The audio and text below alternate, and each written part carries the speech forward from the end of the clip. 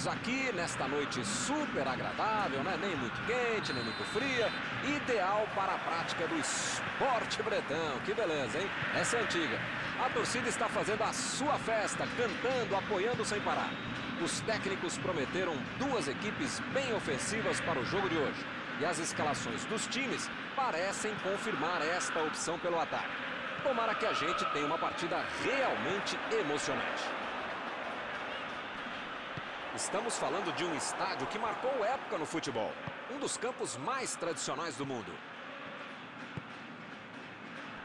Ah, e a partida já começou, hein? A posição é boa. Tentou o drible, mas foi desarmado. Será que ele vai chegar? Ele estava esperto no lance, hein?